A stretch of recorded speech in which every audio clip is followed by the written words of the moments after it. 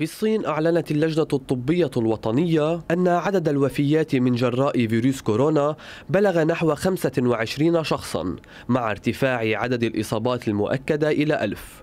وقالت اللجنة إن السلطات تجري أيضا فحوصا لمئات الحالات التي يشتبه في أنها جزء من هذا الوباء الذي ظهر في مدينة ووهان الصينية. واتخذت الصين تدابير قصوى لمكافحة هذا الفيروس الذي بدأ بالانتشار في العالم ففرضت حجرا صحيا على مدينة ووهان مصدر الوباء إضافة إلى مدينتين مجاورتين. كذلك أغلقت أجزاء من سور الصين العظيم أمام الزوار تحسبا لانتشار سلالة أخرى من فيروس كورونا القاتل. وفي هذا الشأن أمرت الصين جميع وكالات السفر بتعليق الجولات المحلية والدولية في إطار جهودها لاحتواء تفشي الفيروس. وأمرت كذلك وزارة الثقافة والسياحة وكالات السفر وشركات السياحة بوقف برامج السفر اعتبارا من اليوم. ويأتي هذا الإجراء في بدء عطلات العام القمري الجديد التي تشهد سفر ملايين الصينيين عبر البلاد وإلى الخارج. وتتخذ الصين إجراءات استثنائية